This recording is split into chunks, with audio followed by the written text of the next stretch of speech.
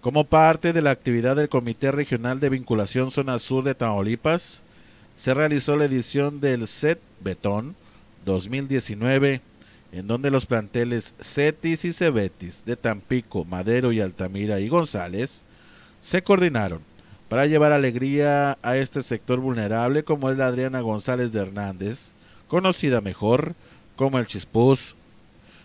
con la participación de un show de payasos, baile, canto y las botargas de los planteles, se vivieron momentos inolvidables para chicos y grandes que estas fechas, con estas actividades, reciben algo que es de corazón.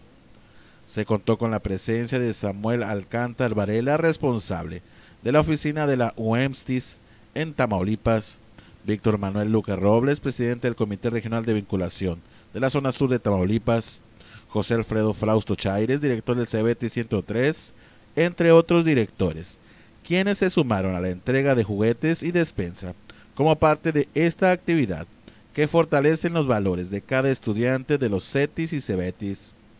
Cabe mencionar que este evento se realizó con la coordinación de los departamentos de vinculación con el sector productivo de Tamaulipas y la zona sur del estado. En las imágenes Ramón Mar, Oscar Mascorro, Noticieros Canal 26.